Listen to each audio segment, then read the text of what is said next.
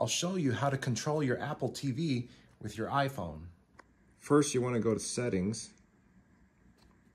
and then you want to go to control center and then scroll until you find the Apple TV remote and then you want to click the plus sign next to it till it shows up right here and then go back to your home screen and then you want to swipe and then you want to select the controller okay?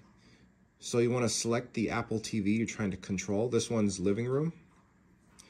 And then on the screen you might have a code that you have to enter. Um, so I'm going to enter it here.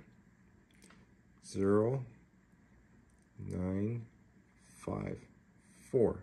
And this will link it to your Apple TV so now um, you can basically this is like your little um, touch screen to to navigate with it and then back. So and then this one kind of goes to the home screen and then play.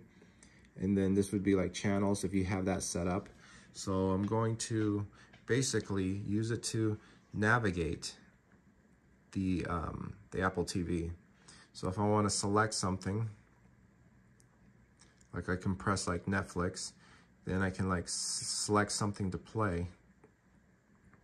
Okay. And then you can either hit this button to start playing, um, or you can hit the the play button to, to start it. And then if you want to get back to the home screen of, on your Apple TV, just hit this button right here. And this will take you back to the home screen. So I hope you found this video helpful. Please like and subscribe for future videos.